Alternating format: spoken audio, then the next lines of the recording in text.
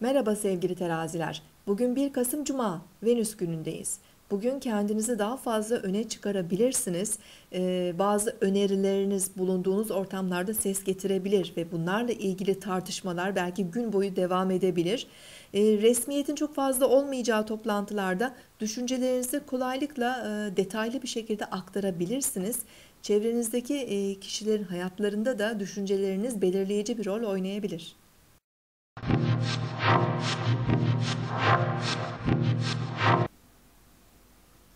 Burcunuzu dinlediniz. Bugün 1 Kasım Cuma, Venüs günündeyiz. Ay terazi burcunda ilerliyor. Ee, özellikle ilişkilerde denge ve uyum arayışımıza dikkat çekiyor. Ancak bugün gökyüzünde e, biraz zorlayıcı e, görünümler var. Bu nedenle duygusal dengemizi korumamız zor olabilir. Özellikle e, bir süredir zaman zaman bir araya gelen Uranüs-Plüton arasındaki öncü kare bugün tekrar e, gökyüzünde kesinleşiyor. E, Uranüs-Plüton kareleri önemli değişim ve dönüşümleri işaret eden bir açıdır. E, bu nedenle oldukça biraz zorlayıcı bir gün geçirebiliriz. Özellikle sabah saatlerinde terazi burcundaki ay Uranüs-Plüton karesini tetikleyecek ve büyük bir tek kare görünüm meydana gelecek. Bu durum ilişkilerde dengeyi bulmakta zorlanmaları neden olabilir. Baskı, güç, değişim ihtiyacı, isyan gibi yoğun ve güçlü enerjiler hissedebiliriz. Toplumsal olarak da kitleleri etkileyebilecek e, zorlayıcı, huzursuz edici kavramlar ortaya çıkabilir.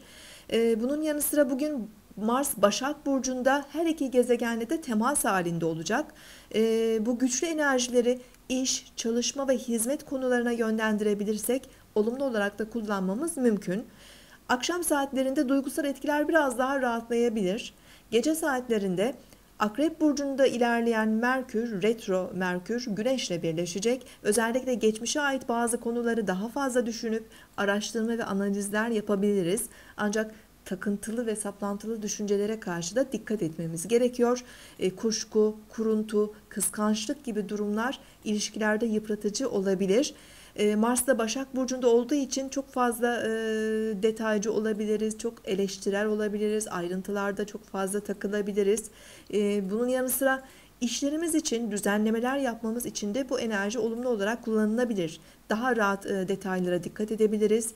İş ve özel hayatımızda neyin gerçekten gerekli olduğunu, neyin gereksiz olduğunu e, düşünüp karar verebiliriz. Uranüs'ün ve Plüton'un verdiği güç ve kararlılıkla da gerekli değişimleri yapabiliriz. Yarın tekrar görüşmek üzere. Hoşçakalın.